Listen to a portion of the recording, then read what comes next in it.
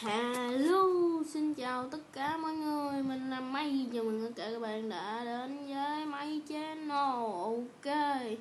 Và hôm nay mình sẽ làm cái tập đầu tiên của uh, mẹo. À, Mình sẽ làm một cái uh, series nó về mẹo, ok. Thì mẹo Minecraft là một cái, uh, cái này mình do mình tự nghĩ ra, mình tự uh, tìm hiểu thôi chứ không có ăn cắp của ai hết. Ok thì bắt đầu thôi. Thì tập đầu tiên thì mình sẽ hướng dẫn cho các bạn là đổi. À, không mình sẽ hướng dẫn cho các bạn là lấy nhiều vật phẩm à, giống nhau cùng một lúc. Giống như mình sẽ lấy một cái emerald. Thì nó sẽ ra một cái emerald như thế này. Ok mình xóa hết này đi. Cho nó dễ nhìn thấy đó nếu mình lấy một cái emerald thì nó sẽ ra như thế này nhưng mà nếu mình lấy cái thứ hai thì nó sẽ biến qua khỏi cái ô này. Vậy thì để làm sao mà cho nó lấy hết nguyên một cái uh, dãy emerald này? Thì ok thì mình sẽ hướng dẫn ngay sau đây. Ok thì các bạn cho cần cho mình một cái đe đó chỉ cần cho mình một cái đe thôi rất là đơn giản. Bạn vào đây đó các bạn đổi tên cái emerald này. Giống như các bạn đổi cái ờ, chữ bất kỳ hay cái số bất kỳ gì cũng được. Mình sẽ đổi một chữ bất kỳ.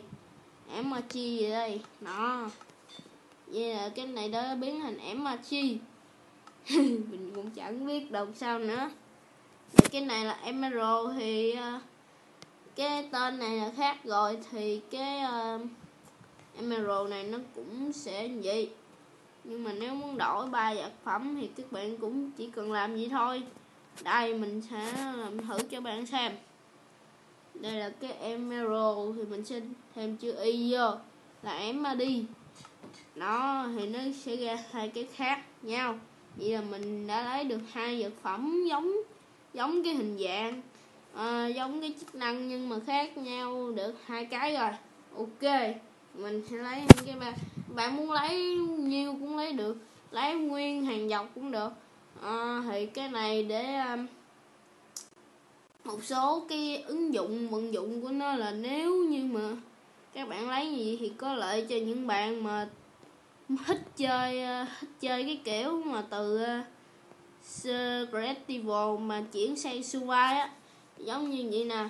Đó thì các bạn sẽ uh, có được cái lợi của mình.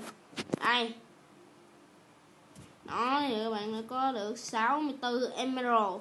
Thì chỉ ờ, khác cái là em mà chi rồi em mà đi thôi.